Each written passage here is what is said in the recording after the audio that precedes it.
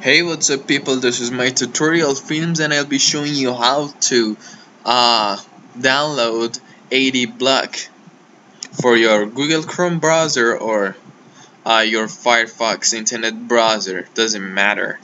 They both have it.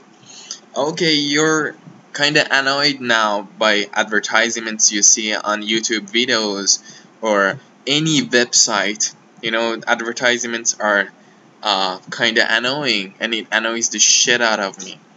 Okay, what you gotta do is basically uh, you go to the link in the description box. And uh, under the video which you're watching now and uh, you add this application to your Google Chrome.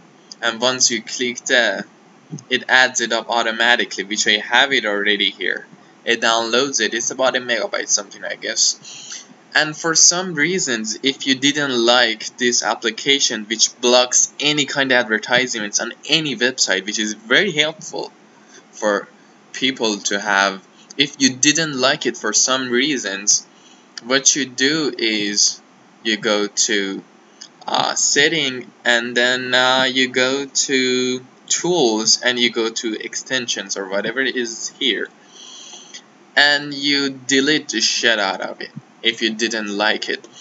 This was the tutorial for Google Chrome, but for uh, Firefox it's kind of the same actually. It's not that different. You go to that setting on the top Firefox thing and you go to add-ons, which I have it already. You see AdBlock Plus or whatever.